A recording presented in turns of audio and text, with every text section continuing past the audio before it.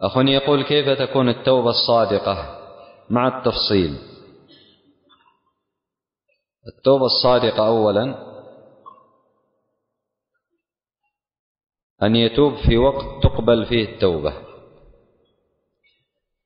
قبل أن تبلغ الروح الحلقوم أي يتوب وهو ما زال متمكنا من التوبة. في وقت يمكنه التوبة. وليس هناك ما قد دخل عليه مما يمنع قبول التوبة كان يكون في سياق الموت. أو إذا رؤي بعض علامات الساعة كطلوع الشمس من مغربها. وأيضا التوبة تكون بأن يقلع على الذنب. هذا ركن أساسي في التوبة. فلا تصح التوبة وهو مقيم على هذا الذنب نفسه. أولا يقلع عن هذا الذنب ويبتعد عنه ويتركه. أيضا يندم على هذا الذنب الذي فعله.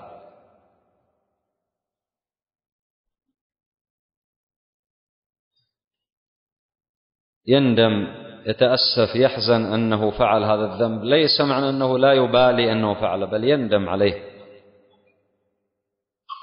وأيضا يعزم ويصمم في قلبه أنه لا يعود إلى هذا الذنب أبدا.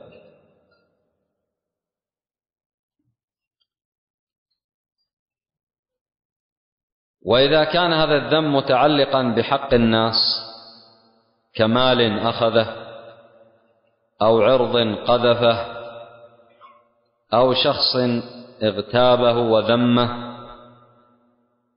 فلا بد من الاستحلال في ذلك.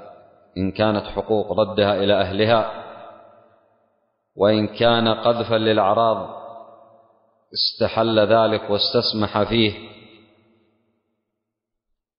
فإذا كان كذلك فهنا تصح التوبة.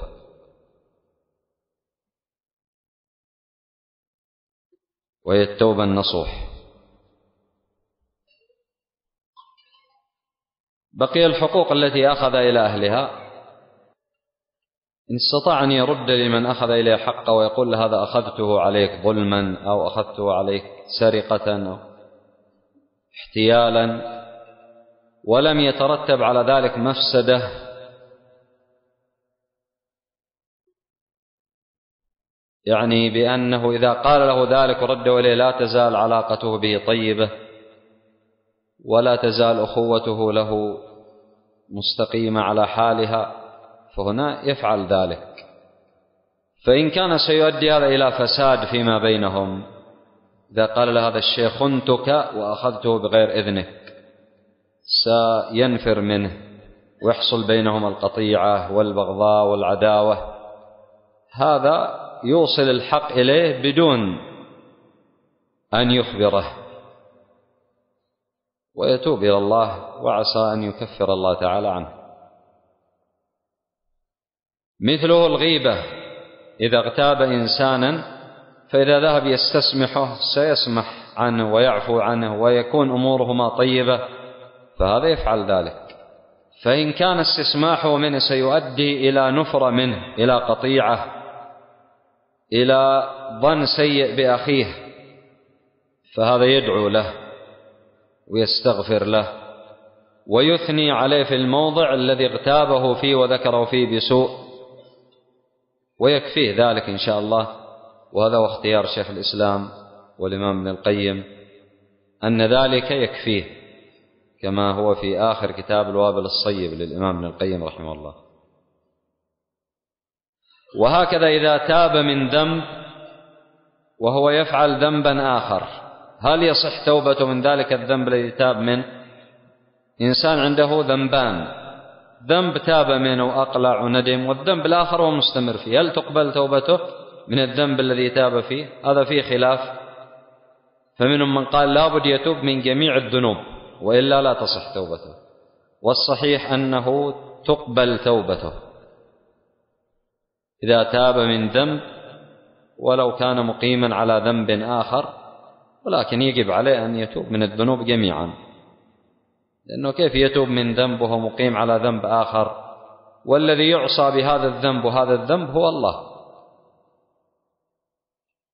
لكن لو وجد ذلك يصح توبته. أيضا لو تاب من هذا الذنب بما ذكرنا أقلع عنه ندم على فعله وعزم ألا يعود إليه ثم عاد إليه. هل تصح توبته الأولى أو تنقض؟ تصح توبته الأولى ويجب عليه أن يتوب توبة جديدة من هذا الذنب. قال النبي صلى الله عليه وسلم أذنب عبد ذنبا فقال اللهم اغفر لي ذنبي. فقال الله علم عبدي أنه له ربا يغفر الذنب ويأخذ بالذنب قد غفرت لعبدي. ثم عاد فأذنب. فقال في الحديث مثله ثم ثالث عاد فأذنب. فالشاهد أنه يقبل ذنبه. ولو عاد إليه مرة أخرى لا ينقض التوبة الأولى بل يجب عليه أن يتوب توبة أخرى. وهذا من رحمة الله تعالى بعباده. والإنسان يسأل الله جل وعلا أن يعصم من الذنب وأن يبعده منه. ورب ذنب يقدر على الإنسان ينفعه الله تعالى بذلك. رب إنسان يدخله الكبر والإعجاب والغرور فيقدر الله عليه ذنبا يفعله فيحتقر نفسه وينكسر مما هو فيه من الكبر والإعجاب والغرور. رب إنسان يكون غافلا عن الله وعن التوبة إليه والرجوع. فيذنب ذنبا فينكسر قلبه ويرجع إلى الله ويتعلق به. فهذا قدر الله على الذنب لحكمة عظيمة. رب إنسان يكون بعيدا عن الاستغفار أو لا يرى نفسه أنه يحتاج للاستغفار. فيقدر الله تعالى عليه بعض الذنوب حتى يفعل بهذه العبادة. وقد ذكر ابن القيم رحمه الله أكثر من عشرين حكمة. من الحكم التي يقدر الله سبحانه وتعالى لأجلها الذنوب على عباده كما في كتابه طريق الهجرتين. فهو موضع مفيد لمن قرأه.